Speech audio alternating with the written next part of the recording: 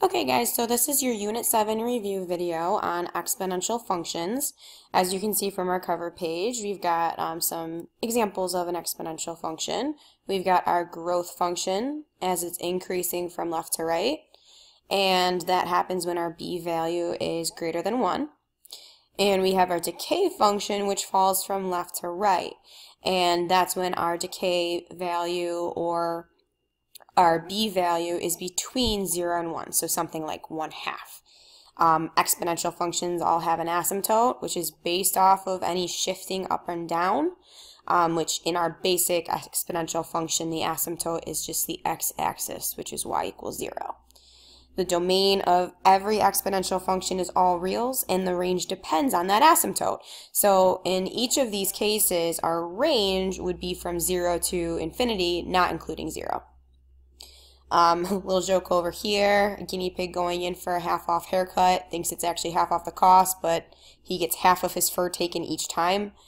And the joke is, it's, ne it's going to take forever. He's literally never going to have his entire coat um, shaved off because essentially what's happening is this is his function. He's approaching this asymptote at y equals 0, and he's never actually going to hit 0 because that's where the asymptote is. So just a little bit of math humor there.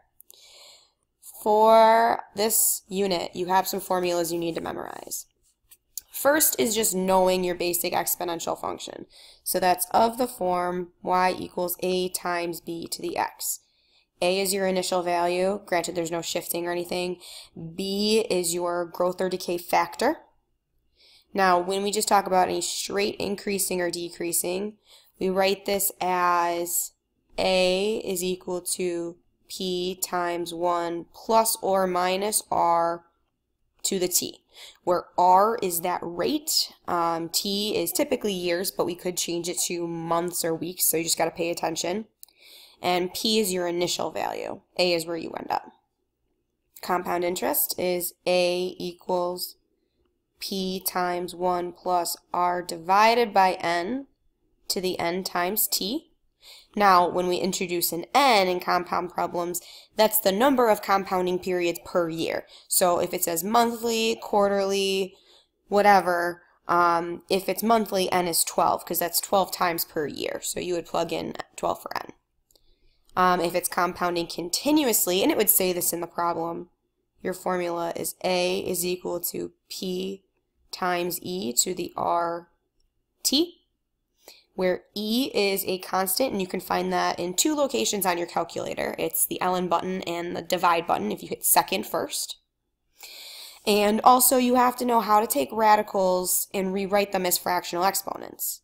And so if you have the b root of x to the a, that's x to the a over b. And likewise going the other way, x to the m over n is equal to the nth root of x to the m. And the way I always remember this is in a fraction, it's always power over root. So if you think about a tree, the roots are always at the bottom of the tree, right? So the root is at the bottom of the fraction. So if you remember power over root, you can be able to go back and forth between these.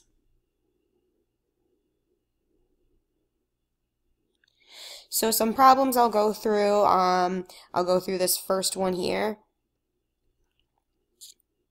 I'll go through um, some just basic rewriting stuff. So uh, this section in here, converting to a yearly, converting to a monthly. I'll do a few of each type of solving. So I'll do something where the variable's in the base. I'll do something where you have to rewrite and get common bases. Go over our basic exponent rules. Writing a function based on a table.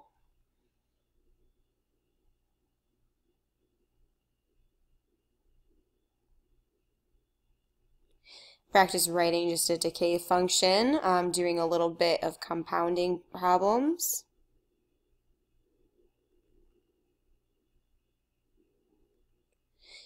Just basic, um, graphing your basic function, asking some questions about it. do a little bit of some decay and some mindful manipulation, solving in your calculator. And then I actually added a problem, which is where I give you the variable, but now it's in terms of months. You can add this to the back of your packet. So coming back to this first problem, I've just taken the time and already filled in this table of values um, just to show you how I did this because you know it doesn't come out and tell you it's growing by a certain percent per year. I had to figure out the growth factor per every five years, which as you can see, it goes from 1990 to 1995, so it is increasing by five years um, each time. Um, what you would do in your calculator is you would take this number, the 86,332, and divide that by the previous number, so 82000. And so that's where the 1.05 number comes from. Another way to think about it is 82,000 times some value, so maybe you call that R, um, actually I'd probably call it B for the growth factor, would give you the 86,000. So essentially you're solving for what B is. Okay, so you're taking the number that you, had, you ended up with and dividing by the previous. So I just did that, filled it in for us. So we're by hand figuring out what the average five-year growth factor is. So just like what you guys would do in middle school when you're finding the average, you add up these numbers and divide by however many you have. So I've got um, 1.05, so let me grab my calculator here. 1.05 plus 1.11 plus 1.00 plus 1.08 plus 1.03. So I get this number and I divide by 1, 2, 3, 4, 5 numbers because that's how many I have. So 1.054. And according to my directions, it doesn't want me to round.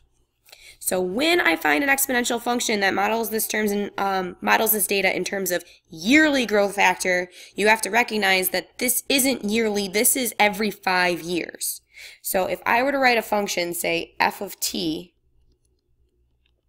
where t is years, technically um, my initial here is 82,000 and then this 1.054 isn't happening over t years, it's happening over t divided by five years.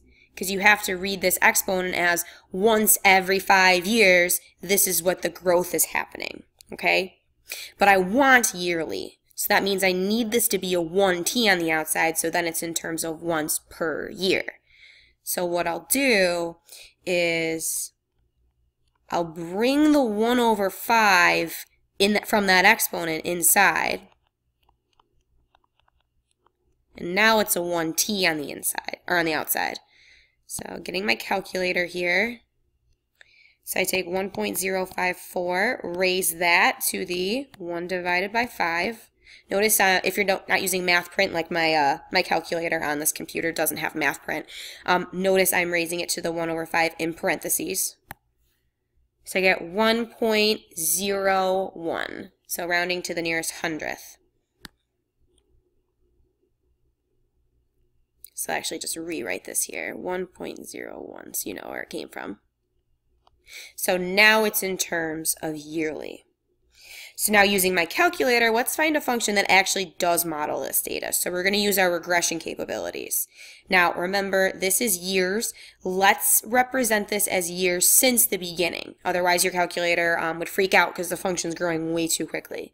So let's call this 0, 5, 10, 15, 20, and 25 because it's years since 1990. So this will be our x and our y will be our house value. So we're editing our lists.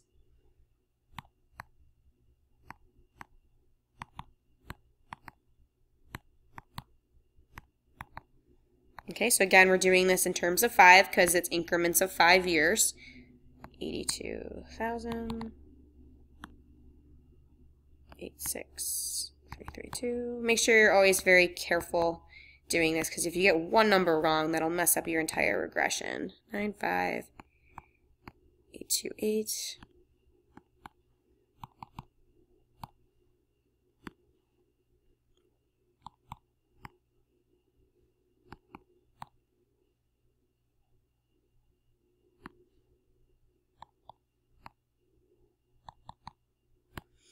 Okay, so make sure everything matches up, make sure all your numbers are accurate, and it looks like I did a pretty good job. So next, I hit Stat, Calculate. Now you're not going to see it right away, but you're looking for the exponential regression as this is an exponential function. So there he is, exponential regression. Now, um, because I'm using an older calculator on here, it doesn't give me the prompt screen where you would have um, L1 and L2 probably already inputted for you. If you have an old one like this is modeling, I'll do second L1, comma, second L2, because that's me telling the exponential regression, hey, that's where my data lies. Hit enter, and there we go. So my A value is 82813.29 because I'm rounding to the nearest hundredth, and my B value is 1.01. So I'll write this down.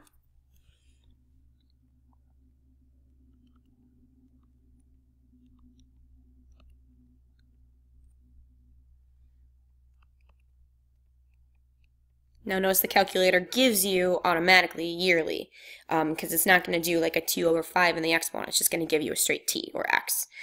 So what is the percent difference in yearly growth? Well, if you look at our b values, they're actually identical.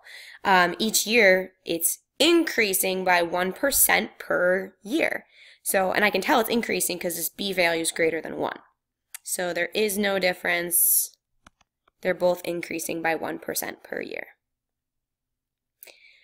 Rewriting radicals. Um, so if you have a fractional exponent, it's power over root. So this is the fifth root of y technically to the first power, but we don't usually write the first power, so you could re you could just leave it like that.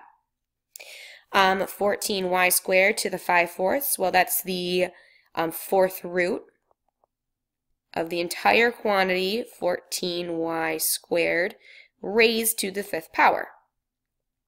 Now, if you come over to something like D, only the W is being raised to the 2 sevenths. So this is technically 10 times the seventh root of W squared. Now, if you have a negative exponent, that's the same thing as the reciprocal. So we'll rewrite this as 4 over x to the positive 1 half which if it's power over root, that's the square root of x to the first, or just the square root of x. Now, if they were leaving this as a final answer, we you know don't usually leave radicals in the bottom, so we would rationalize, and you'd end up with 4 radical x over x. Um, we don't have an example here, but let's say you have something like, uh, um, let's see, x over 125 to the negative 1 third, let's say. If it's a fraction being raised to a negative exponent, you would flip the fraction, because it's reciprocal, right? And now make it the positive one-third. So now this is the same thing as the cube root of this entire quantity, 125 over x. So just to give you an example like that. Now below here, number two, we want to find the yearly rate of growth and decay, and this is assuming x is in terms of years. Now in this first one, see how it's a 1x on the outside? That is one year. So this is already in terms of a yearly growth or decay factor. In this case, I can tell it's decay because that b value is less than 1. So if you want to find the rate, if you think about this b value as terms of 1 plus r, and you solve for r, r equals negative 0.25. If anything, that negative should tell you you're decaying if you hadn't already figured it out from looking at the b value. So what this means is you're decaying by 25% per year. Now, if you look at b, though, it's an x divided by 3. So technically that's read as once every three years, not once per year. So you'd want to bring in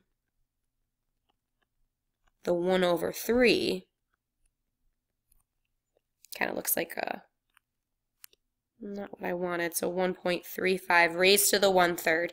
And then I'd evaluate that. So you plug 1.35 to the 1 third in your calculator, you get about 1.105 to the x Technically, there's a 7 still out here. That's just your initial value.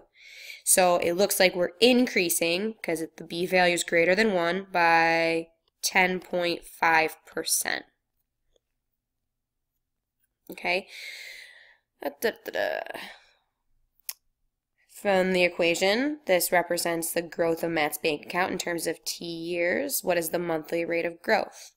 This is what we consider a mindful manipulation in that I'm going to force this function to be what I want it to be. When you have monthly, or you want the monthly rate of growth, you don't want this to be 1t as in one year. You want it to be a 12t, which you're going to read that as 12 times per year, aka monthly. So I'm going to force this to look the way I want it to look. So I want a 12T on the outside, but I can't just force something to be a 12T without balancing it. Otherwise, I would be changing the function overall. So in order to balance this, because I still have a 1T technically, I'm just changing the way it looks, I'm going to balance it with a 1 divided by 12.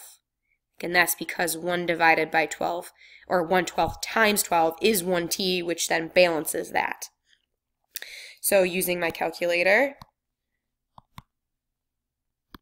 I would take 1.25 and raise that to the 1 divided by 12.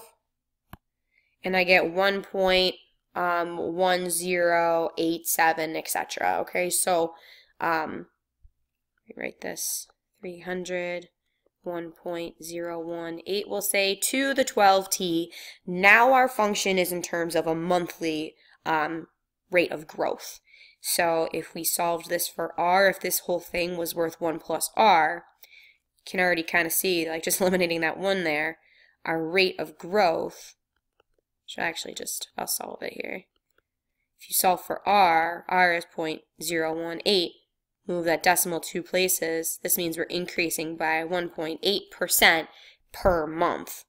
And that's our monthly rate of increase, which makes sense. We're growing 25% of the course, course of a year, so if you're looking at one month, that's going to be a smaller amount of increase. Okay, just a couple solving problems. Um, technically, this isn't an exponential function, it's a power, but we're still solving exponents here. What we do is we isolate this exponent by moving over the 2 and then what I do is I raise both sides to the reciprocal power because you got to imagine you're creating an x to the first technically. Those exponents, you know, a power to a power, your rule is multiply. That's technically x to the first now. Whatever you do to one side, you have to do the other though. Now, when you raise this function or this value to the 5, 6, notice how the denominator is an even number. This means that you're going to have two solutions, positive and negative. So you technically have plus or minus. Um, in terms of a radical, it would be the sixth root of 23 to the fifth, which is, in your calculator, plus or minus 13.64. Okay, now I'll show you why there's two solutions. Grab my calculator here. Okay, let's say I plug in x to the five, um, 6 fifths. Oops, caret here. Minus 2 and 21. I'm probably not going to see anything unless I make my window larger. That's like 50, I guess we'll say. Okay, so this first one's my function.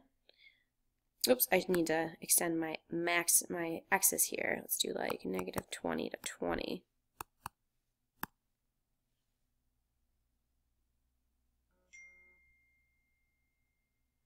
All right, there you go.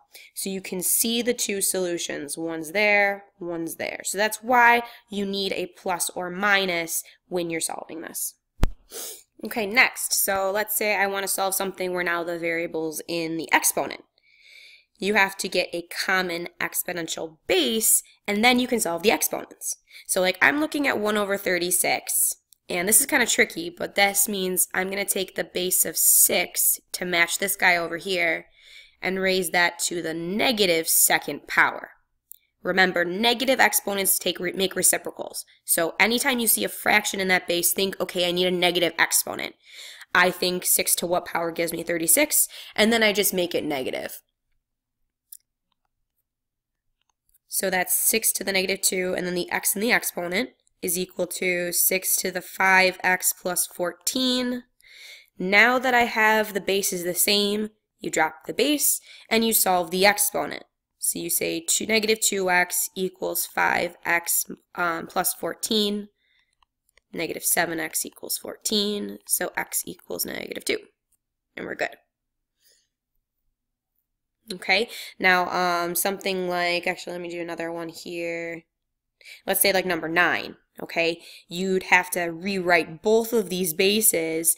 And if you look at 8 and 4, you should think, I know I can create um, with a base of 2, 8. So 2 to the third gives me 8.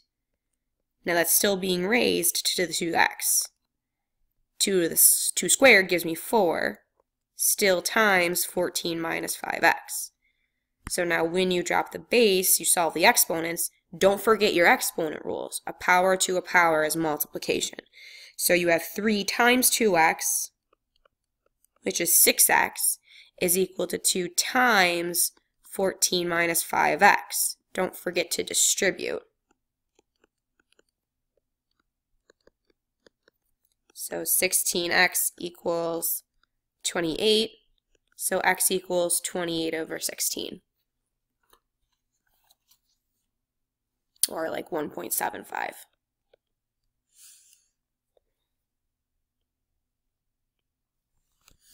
Okay, so if you're going to use exponent properties then to simplify something like this, remember this is power over root. So x to the 3 fourths times x to the 5 halves. Now, anytime you multiply numbers with the same base, you add the exponents.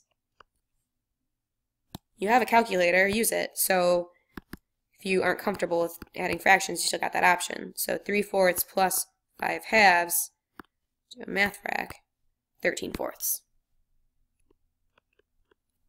Now, if you're dividing radicals, convert them to fractions. So 7 sixths, 5 twelfths.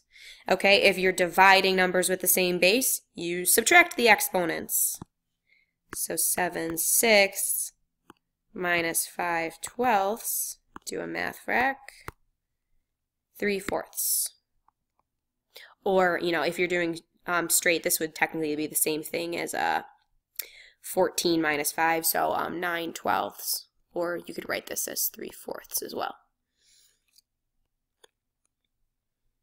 Okay, um, given a table, explain why the pattern represents an exponential model, and then find the equation to represent the table. If you look at your y values, each time we're multiplying, oops, multiplying by one third. 27 divided by 3 is 9, 9 divided by 3 is 3, and so on. So that's an exponential model because you're multiplying um, by, a, in this case, a decay factor each time. Now, every exponential function is of the form a times b to the x. So b is that number you're multiplying by each time.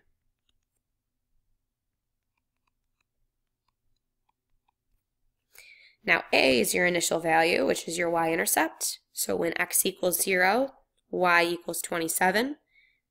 So your a value is 27.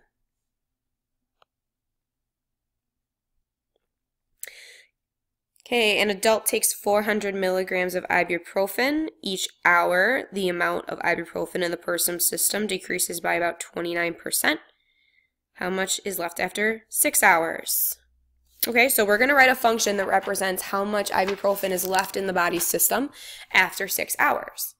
So we're going to use the form A equals P times 1 minus R to the T.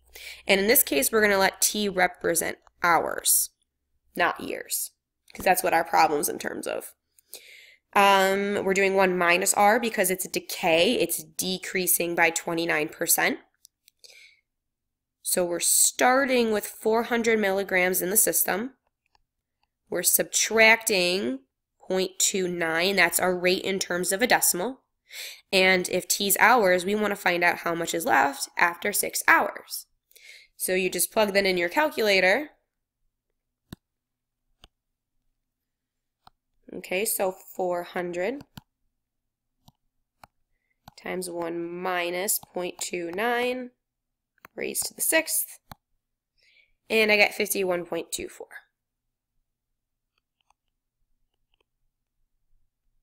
Or 51.24, excuse me. So that's how much is left after um, six hours. All right, um, in this next one, you have a bank account. Um, you're going to have the money in there for three years, and you're depositing $1,600. In the first scenario, you're doing some compounding, so compound monthly. So n equals 12 because it's 12 times per year. Your formula is A equals P times 1 plus R over N to the N times T. P is your initial, so 1600. Your rate is 2.5%, so 0.025 divided by 12 to the 12t, which t is years, so times 3. So you just plug that in your calculator.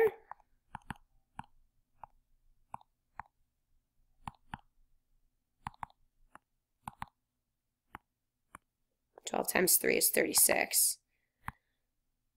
Okay, so I think I did something wrong. Yep, oops, forgot the five there, so let me just try this one more time.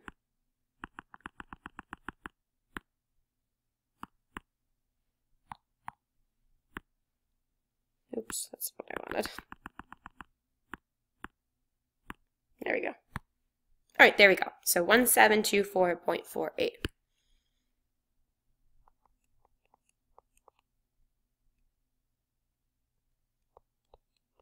So that's how much money you would have in the account after three years.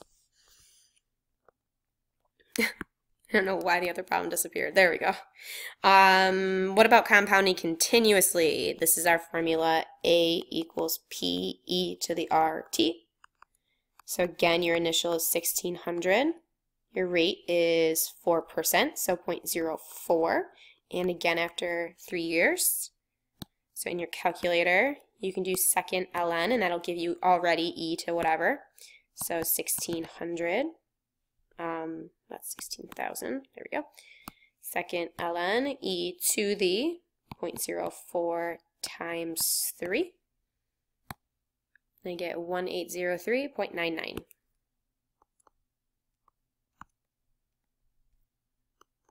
Um, technically, the ln um, is just one way to get e. If you want just a straight e, that's second divide. And then there's just e, and then you could manually raise it to whatever you want. So it's actually in two locations.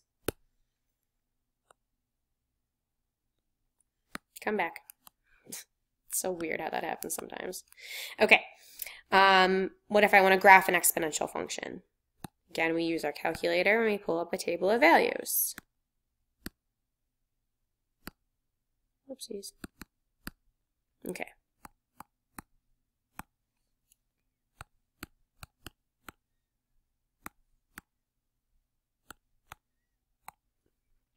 Okay, so just to give us an idea here, there's our, technically our decay function, and I already knew it was decay without even graphing it because this b value was less than 1.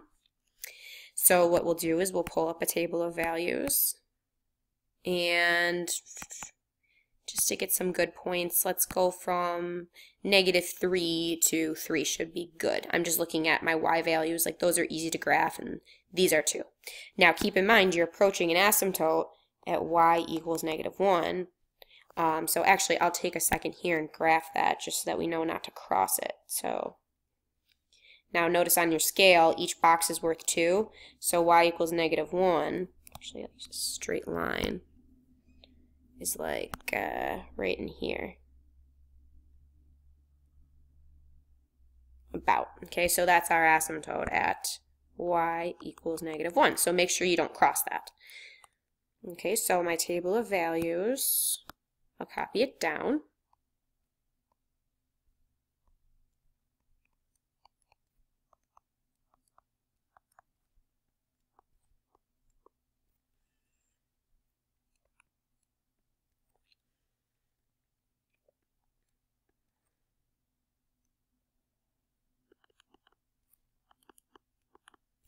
Okay, and then I'll use this just to graph.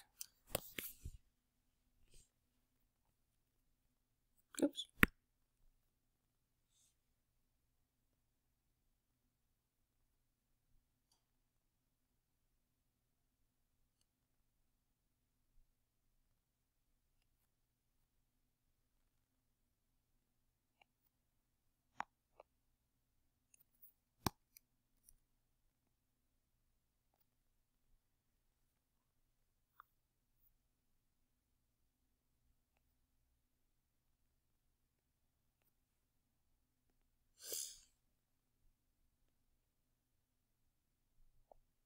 Yes, until be just a smidge high. That's about what it looks like. It's kind of hard on my tablet. I would probably move that asymptote like a smidge lower. But yeah, that's the idea, because then you're approaching the asymptote of y equals negative 1. Now, the domain of every exponential function is all reals.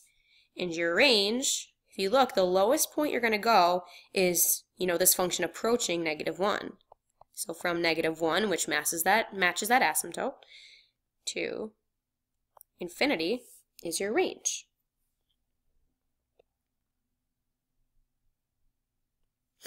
Okay, next, population of zombies in Erie County, which is obviously unrealistic. Of course, we did a little sci-fi, I guess, here.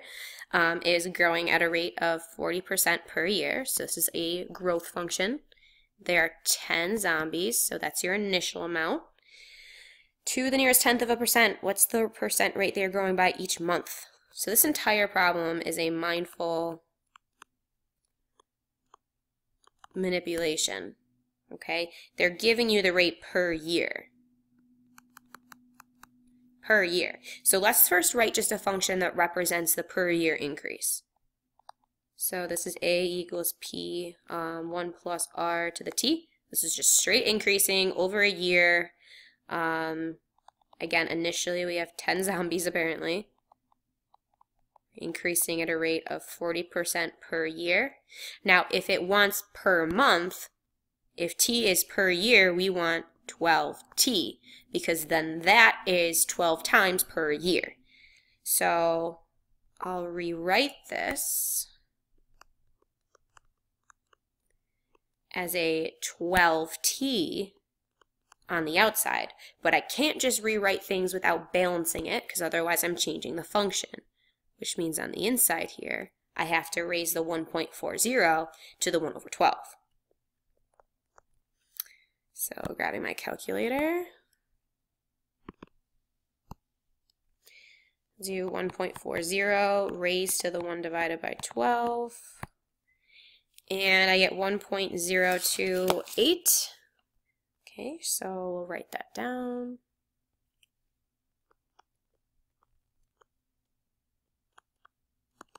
And that whole decimal technically raised to the 12t. Now to the nearest tenth of a percent, um, swing that decimal two places. It looks like we're at a 2.8% increase, and that's each month. So yikes, um, we're growing at 2.8% each month of zombies. Um, what about each week? Well, each week is 52 times per year. So same idea. I'll take the annual that I know and I'll manipulate it. I need a 52t on the outside and I'll balance it with a 1 over 52 on the inside. So 1.4 raised to the 1 divided by 52 so 1.0064, so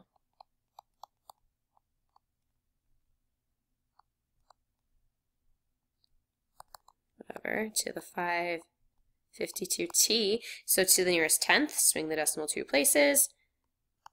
0.6% um, increase, and again, now this is each week.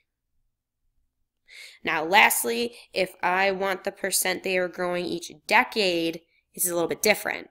It's not going to be 10t because that would refer to 10 times per year. I want once every 10 years. So technically, I want um, 1 divided by 10 to the t. That's once every 10 years.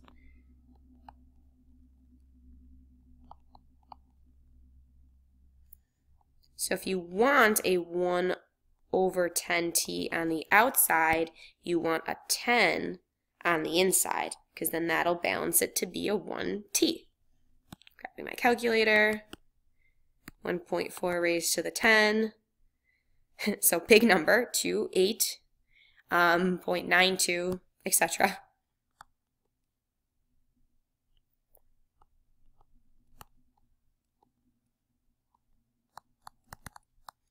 So the 1 divided by 10t. Okay, so swing the decimal two places. It looks like we're at about um, near a tenth of a percent. Okay, so 2.892.5% each decade. so crazy amount, obviously, because it's growing over um, a large amount of time. Okay, the last couple problems here. Um, one is just talking about the graphing calculator where if I do this, um, you're just finding where two functions intersect. The first is the 2 thirds, which I know this is going to be decay because this b value is less than 1, to the x plus 2. Make sure you're using parentheses for that exponent. Minus 2, and then where y equals 6. So if I graph this, there's my decay function. Look at that asymptote it's approaching at um, y equals negative 2 and there's your intersection. So you hit second trace. Option 5 is intersect. Now the first, whoops, whoa, where'd it go? All right, the first question is always, are you on the first curve? Which if I move it, it looks like the first curve, I'm on the exponential, so that's one of the functions, so hit enter, yes. And the second one, if I shift it, you can see I'm on the line y equals 6, hit enter. Now guess is just you get close to the intersection point you want to find. Um, it's really more important if there's two intersections, in which case you'd have to get close to one first and then close to the other. So enter again, and there's our intersection. So your coordinate point would be this value. So I'm going to save the time on the video, um, not graphing it, because we already did that. But just so you know, that's how you would find that in the calculator. Now the last problem I added here, um, I did deliberately just because, come on, move on.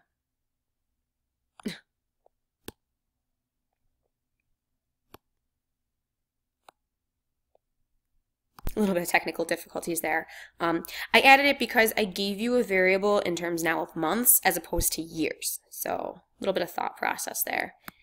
Um, you've got rabbits and um, they're in Island Park. We're talking about the population of them. So R of T is the number of rabbits and T is in months since January 1st, 2000. What is the monthly percent rate of growth? Now, a misconception is, oh, well, if T is in terms of months, I would just look at this but that exponent is 12 divided by t, which you have to read as once every 12, not years, but months. Because remember, t is in terms of months. So if that's the case, once every 12 months, that's technically, aka, one year. So that's your annual growth. So you're actually growing at 25% per year, if you think about it. So it's kind of a sneaky way of telling you, hey, that's actually the annual increase. If I want per month, what I can do is take that 1 over 12 and move it inside.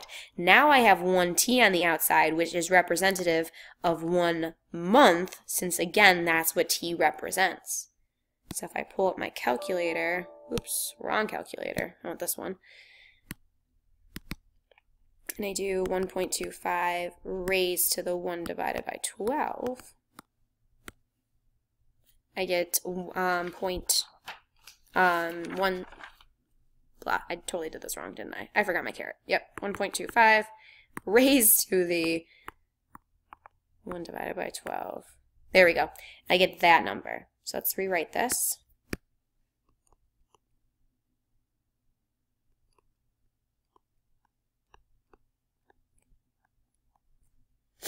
Okay, so this is your b value. So if 1 plus r equals that, r equals 1876. So to the nearest tenth, it looks like we're increasing at 1.9% per month.